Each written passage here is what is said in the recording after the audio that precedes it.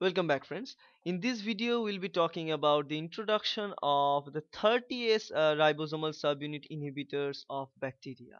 So let us talk about 30S ribosome inhibitor. Okay. 30S subunit ribosome subunit inhibitor of bacteria. Okay, and uh, they are also protein synthesis inhibitors, and as they are uh, uh, they're inhibiting the protein synthesis, they are a kind of bacteriostatic in nature. They will not kill the bacteria, instead they will halt the growth of bacteria. So they are bacteriostatic in nature. And uh, the class uh, name for this kind of antibiotic is, is, is a very very common name. It's tetracycline. So the name is tetracycline.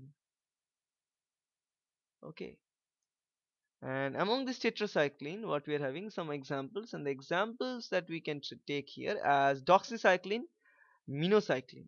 So doxycycline and minocyclines. Okay. So they are about cyclines. So the uh, that's how to memorize the name cyclines. So they are 30s subunit inhibitors. Anyways now the property about these tetracyclines again, they can bind with calcium and magnesium. So it is not recommended to take them with dairy product. That means uh, that means let's talk about here. Let's say let's say this is our antibiotic. It can usually pair with magnesium, iron or calcium. So that's why uh, milk is containing calcium, magnesium, uh, and antacids are also containing magnesium. So it is not recommended to take with. So do not take with antacid or dairy products. So that's uh, first property that i'm going to talk right? And uh, except for that everything is fine no problem about that. Anyways uh, now the spectrum of act antibi uh, antibiotic activity for this type of antibiotics are broad.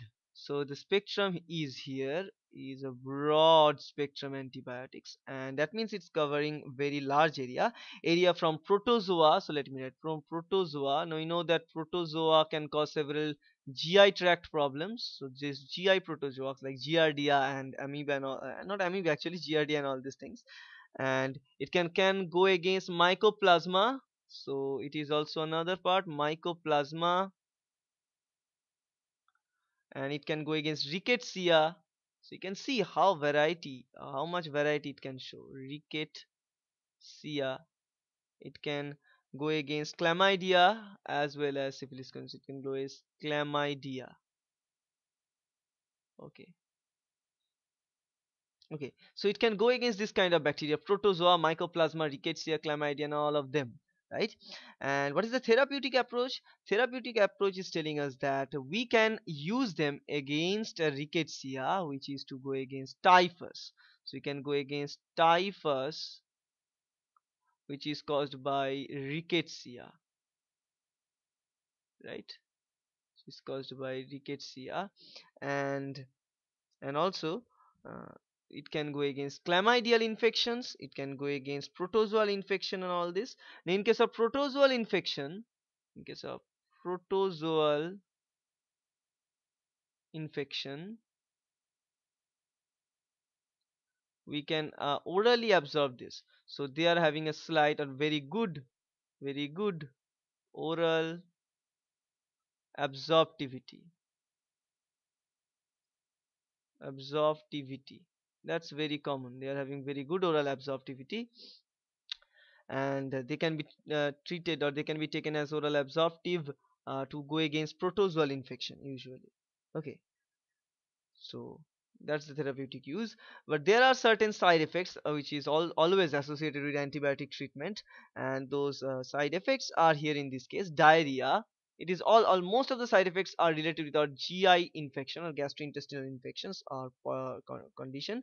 Like a gastric upset gastric upset and it is uh, linked with enterocolitis diarrhea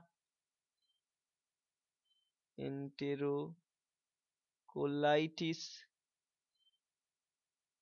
diarrhea it is also linked with super infection so what we mean what do we mean by super infection it means so let us talk about super infection a little bit here.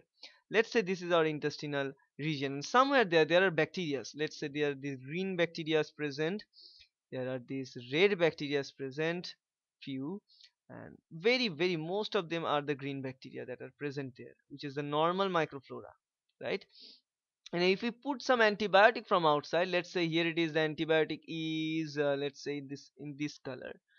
Uh, this is our antibiotic for example in this case. The antibiotic enters as a result of that it start to kill it starts to kill all of this uh, normal microflora which are green. So as a result those red microflora which are a kind of opportunistic pathogen. That means usually when normal microflora are present this red bacteria will not cause any harm due to their uh, very few number right? Because the normal microflora will, won't allow them to grow there. But when due to the antibiotic treatment normal microflora are getting hampered in those cases this opportunistic red microflora would start to grow. So they will grow and after certain time what we can see here what we can see so let me draw another image and I'll let you know that after certain days we'll get this red microflora go growing and growing. Very more red microflora will grow and very few those uh, normal microflora will be there. So as a result these red microflora now can cause several infections. Though they are present from throughout the time now this red microflora here acts as they can act as opportunistic opportunistic pathogen change the color opportunistic pathogen right? That is very very dangerous. So in this kind of infection by this opportunistic pathogen normally residing in our body is called as it is termed as super infection. Oh sorry we have already written that name so i'm not i don't need to write it anymore. It is called as super infection. Okay and that this thing this kind of super infection can be caused due to uh, the treatment uh, prolonged treatment using tetracycline antibiotics right? So it, we, so we should be very careful uh, using this tetrabiotic right? So that's uh, basic and i hope that's helpful. Thank you